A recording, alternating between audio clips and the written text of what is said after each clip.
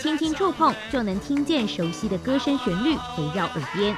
曾经轰动六零至七零年代的摇滚乐团披头四，他们的创作乐曲和影像在台湾完整呈现。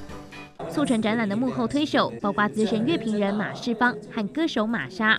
除了分享投入展览的过程外，还搬出家中披头四相关珍藏和乐迷分享。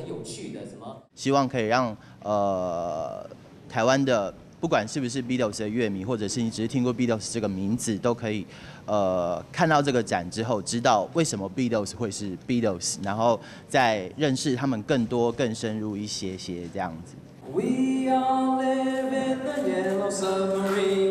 台湾创作歌手韦礼安在现场特别来一段经典歌曲，因为他从小就是乐迷。第一次接触到 The Beatles 是因为一首歌叫做《Yellow Submarine》黄色潜水艇，然后就是在幼稚园的课堂上面就呃结束之后就大量画画，所以就画了一个黄黄色潜水艇。从十八号开始，为期两个多月的展览，超过两百五十件展品，不仅以静态呈现，展区也加入不一样的创意。展览中除了可以看到 Beatles 过去的记录照片外，还有这著名的专辑封面 Abbey Road，可以让民众来体验一番。披头四创下自己写歌、自己唱的摇滚乐团，成为几十年后流行乐坛的主流规格。无论在世界巡回演出、乐团经营等，都为后期的乐团创造先例。有的团的音乐你听了会觉得有宣泄的快感。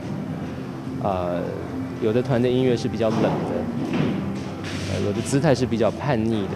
但 The Beatles 就算就算是在最堕落的时候，就算是在最黑暗沉沦的时候，他们仍然是堕落的天使。我觉得他们的音乐是天使的音乐。经过五十多年，披头四的魅力不减，不止音乐广为流传，透过展览也让乐迷更了解披头四在音乐背后的故事。中央社记者张志燕、吴依林台北报道。